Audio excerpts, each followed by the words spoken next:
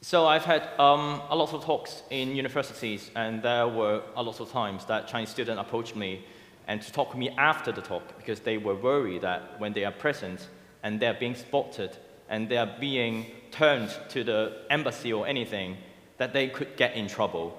Um, um, Sir Vince just said that um, there are lots of Chinese people going out and coming back, but, they, but we we just have to remember that these people, even though they're overseas, they're continuously being monitored.